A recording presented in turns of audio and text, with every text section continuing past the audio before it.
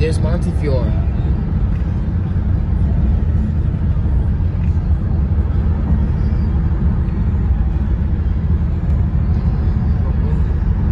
What's the name of the hospital that aunt where that Auntie Anissa works?